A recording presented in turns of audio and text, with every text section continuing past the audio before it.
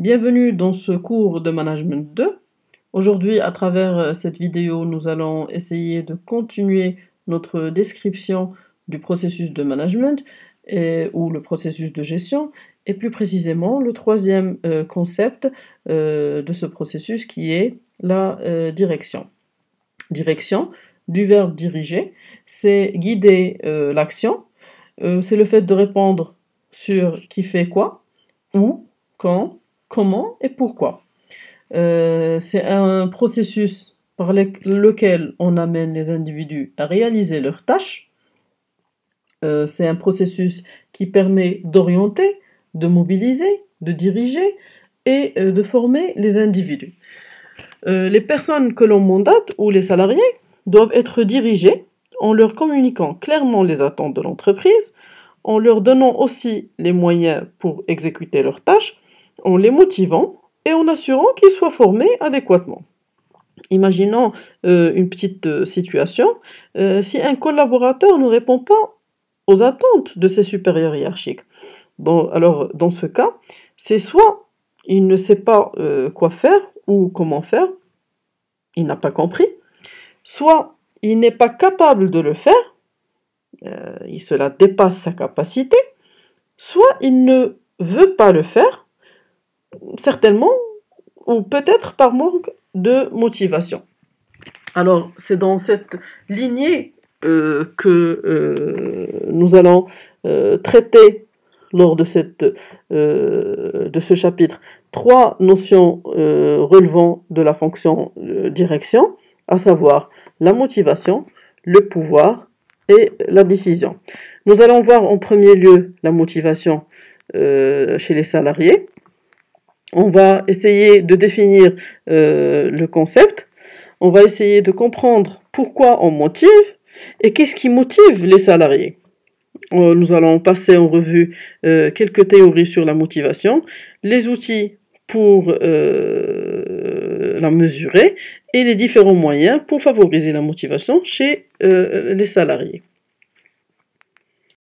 Qu'est-ce que la motivation? Vous avez à disposition ici deux définitions du principe de la motivation, mais on peut définir tout simplement ce principe comme l'ensemble des conditions qui vont inciter les individus à agir et à atteindre des buts précis. C'est un élément euh, d'encouragement et d'incitation qui va mobiliser les efforts des salariés vers l'épanouissement. Il va les pousser vers l'épanouissement. C'est l'effet motivant. Alors, pourquoi motiver? Alors, tout simplement pour augmenter la productivité des individus, pour accomplir de plus grandes choses, améliorer et, se, pouvoir se dépasser, pour contribuer à la réalisation des objectifs de l'entreprise, évidemment. Qu'est-ce qui motive? Ici Peut-être c'est euh, l'argent, ou euh, c'est une bonne place euh, de parking, c'est un beau bureau, c'est une situation importante dans l'entreprise, ou même c'est un emploi ou une fonction qui peut satisfaire l'individu. Et pourquoi pas C'est tout simplement l'ensemble de ces éléments qui peuvent contribuer à la satisfaction des salariés. Dans cette optique, plusieurs théories euh, ont été développées pour mieux cerner le principe de motivation. Nous allons traiter euh, les différentes théories de motivation. Euh, nous avons choisi ici de traiter six théories et on va commencer par la théorie classique initiée par Taylor. C'est l'un des premiers chercheurs à avoir analysé les rapports entre l'homme et son travail. Son analyse se base sur le simple postulat que l'homme est un être rationnel dont l'objectif principal ou euh, le but est de décrocher un salaire pour qu'il puisse satisfaire ses besoins. Pour Taylor, c'est essentiellement une motivation financière qui pousse l'employé à travailler. Dans cette dynamique, Taylor préconise une organisation du travail qui s'inspire du principe de la carotte et du bâton. La carotte ici est synonyme de récompense Exemple, c'est les primes, les gratifications. C'est un troisième aussi, pourquoi pas. Et euh, le bâton est synonyme de sanction. Dans ce cas, c'est les avertissements, euh, c'est des retraits sur salaire et qui peuvent aller jusqu'à la mise à pied ou euh, le licenciement. Deuxième théorie de motivation qu'on va voir, c'est la théorie des besoins ou la théorie de Maslow, euh, qui définit la hiérarchisation des besoins humains dans le but de comprendre les leviers de la motivation. Son raisonnement est qu'un besoin de niveau supérieur ne peut apparaître que si les besoins inférieurs sont comblés et satisfaits. À titre de rappel, je vais euh, vous présenter la fameuse euh, pyramide de Maslow. Dans un contexte de ressources humaines, euh, ici vous avez les, les, les fameux besoins que vous avez vus certainement en semestre 1, mais dans un contexte, dans un contexte de motivation, le premier niveau qui est le besoin, les besoins physiologiques, c'est tout simplement le fait d'avoir un salaire correct. Euh, pour les besoins euh, de sécurité, c'est euh, les bonnes conditions de travail et la sécurité de l'emploi, on va dire. Le troisième type d'aspiration, c'est le fait de pouvoir travailler en groupe, la cohésion des équipes, une information fluide aussi. Et euh, le quatrième niveau euh, correspond euh, aux besoins d'estime.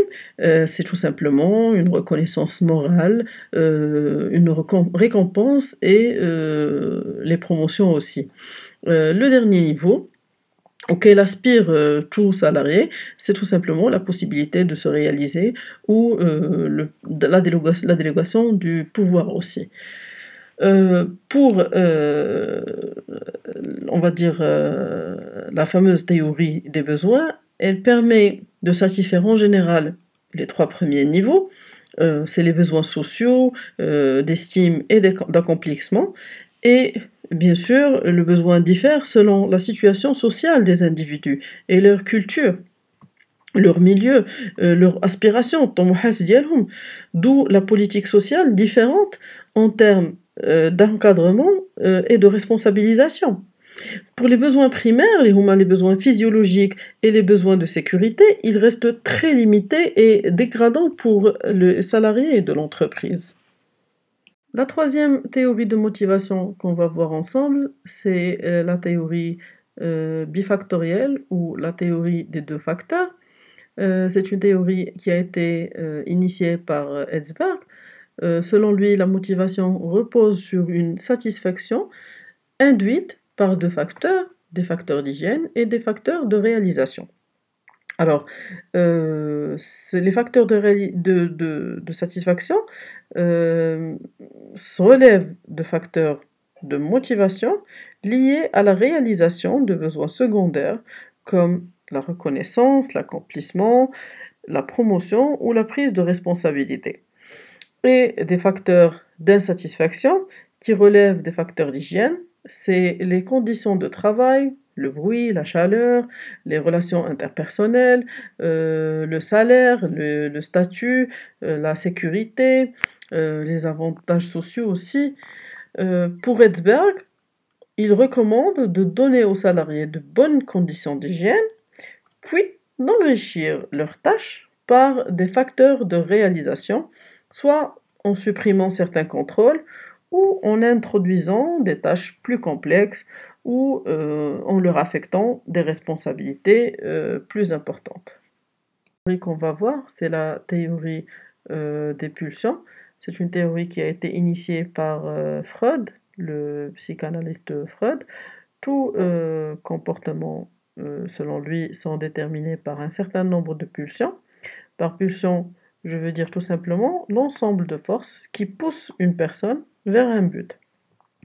En effet, euh, l'homme au travail euh, essaye de chercher des actions qui lui procurent du plaisir et évite au maximum les tâches qui lui procurent de la peine ou même euh, de la douleur. C'est ce qu'on appelle le principe de la pulsion.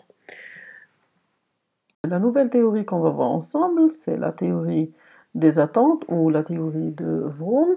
Euh, c'est le nom du théoricien qui a initié le principe.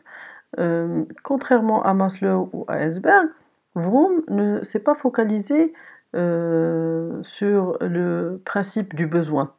il a relié la motivation d'un individu aux attentes et à la chance qu'il possède pour atteindre ses objectifs. Euh, selon euh, Vroom, la motivation euh, dépend de trois on va dire, principes qui sont l'acceptation, l'instrumentalité et la valence. Alors, l'acceptation, c'est tout simplement la perception de l'individu de lui-même. c'est la réponse à la question de suis-je capable de réaliser cette tâche? Quelles sont mes chances de réussir ce projet, par exemple? Euh, dans cette situation, la motivation dépend de la confiance euh, qu'a un individu dans sa capacité à atteindre ses objectifs. Est-ce que je peux réaliser cet objectif? D'accord? L'instrumentalité, euh, un travail représente un moyen d'obtenir une contrepartie qui correspond à un effort fourni. Alors, pour ça, on répond à une fameuse question que vais-je obtenir de ma performance? La motivation dépend du niveau de récompense obtenu par cet effort. Et le dernier euh, point, c'est euh, la valence. Euh, c'est la valeur que constitue la satisfaction obtenue aux yeux de l'individu. Quelle valeur dois-je accorder aux avantages obtenus? Dans cette situation, la motivation dépend de la valeur attribuée à la récompense. Alors, selon euh, la théorie de Vroom, euh, la motivation euh, est égale à l'acceptation multipliée fois l'instrumentalité multipliée fois la valence. À titre d'exemple, imaginons que mon acceptation euh, ou la capacité, ma capacité à réaliser un projet est de zéro. J'estime que je n'ai pas le, calibre pour réaliser ce projet-là. Euh, l'instrumentalité, elle est de 100%, et la valence, elle est de 100%. Alors, si on multiplie le zéro de l'acceptation avec les 100 euh, de, l'instrumentalité avec la valence, le résultat est de, est de, 0, de 0. Dans ce cas, la motivation, elle est euh, négative. Maintenant, la dernière théorie qu'on va voir ensemble, c'est euh, la théorie de l'équité ou la théorie d'Adams. c'est une recherche continue d'un équilibre de la part des salariés. Alors, selon cette théorie, chaque euh, individu au travail a tendance à comparer sa situation avec celle des autres personnes euh, qui relèvent bien sûr de l'entreprise ou en dehors euh, de son propre organisme. que ce soit au niveau du salaire, au niveau, des avantages, au niveau du charge de travail, etc. Alors, cette comparaison peut conduire à un constat de non-équité qui va pousser le salarié à agir pour réaliser cet équilibre. Il va chercher à euh, réaliser euh, lui-même un certain équilibre dans sa relation avec euh, ses collègues. Alors c'est la recherche de, cet équilibre qui est considérée comme moteur essentiel de la motivation individuel euh, qui va pousser le salarié en fin de compte à agir. Voilà. Alors maintenant, et après avoir détaillé les différentes euh, théories euh, sur les motivations, on en a vu six, euh, la théorie classique, la théorie des besoins, la théorie bifactorielle, la théorie des pulsions, la théorie de Vroom et la théorie de l'équité. On doit essayer d'imaginer Comment peut-on mesurer cette motivation au travail? Euh, Tout simplement, comment peut-on évaluer le manque ou la diminution de la euh, motivation?